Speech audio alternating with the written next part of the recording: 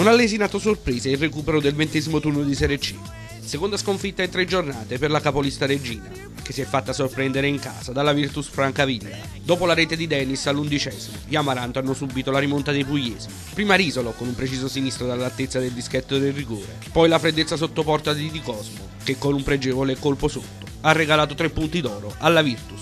Hanno approfittato del passo falso della capolista, il Bari e la Ternana. Ai Galletti è bastata la rete di Simeri per superare, non senza qualche difficoltà, la sicula Leonzio e riportarsi a meno 6 dal primo posto.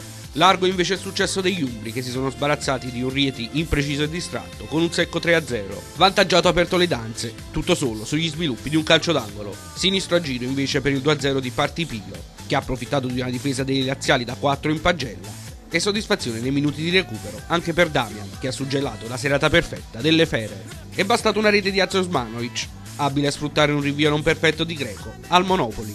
Palla all'incrocio e blitz sul campo della Vibonese per i pugliesi che continuano la loro corsa nella zona alta della classifica. 1-0 anche per il Teramo che si è affidato al solito Bombardi per aggiudicarsi uno dei match di cartello della giornata contro il Catanzaro.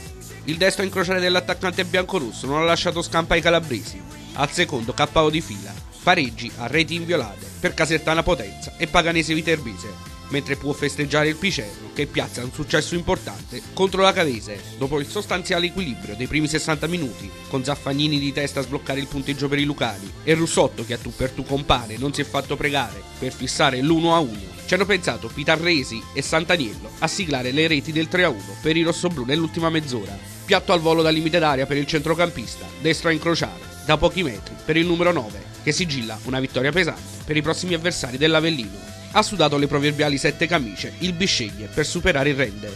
Un colpo di testa di Alvaro Montero ha regalato ai nerazzurri tre punti importanti per salire al quarto ultimo posto in classifica.